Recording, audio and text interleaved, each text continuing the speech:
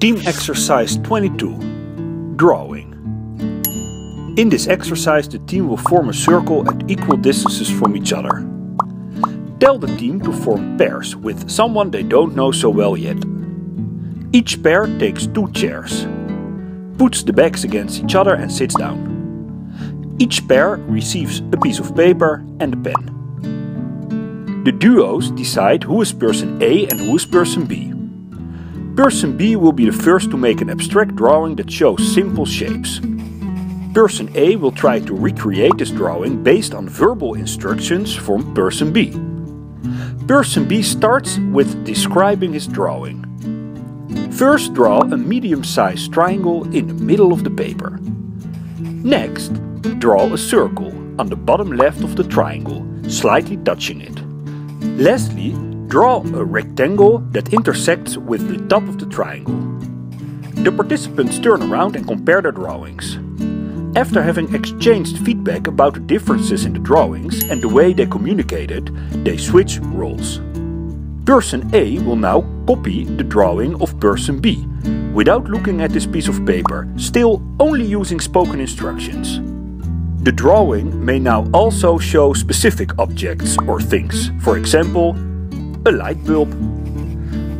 To not give the object away, the person describing the drawing may only use figurative instructions. He can describe the image by all kinds of figures. But of course he can say it's a light bulb. But for example he can say Draw a circle in the center of your paper. Under the circle, draw a cylinder that looks like a screw. Lastly, draw short stripes around it. Now the two drawings are compared again. And person B will find out what the object really was. It will become clear what went well and where the communication could have been better.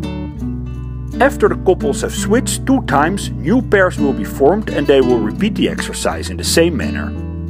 The pairs may now choose if they prefer to draw abstract shapes or specific objects.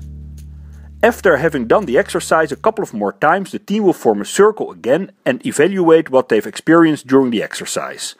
What style of communication works most efficiently, and what style didn't work at all. Is an abstract drawing more difficult to draw compared to a specific drawing? Ask each participant what they think and let them share their experiences. The trainer guides the team and brings variations to the exercise. What kind of variations you can read below this video on YouTube and please subscribe to our channel to see a new team exercise each Sunday on youtube.com slash teamexercises to improve cooperation and communication.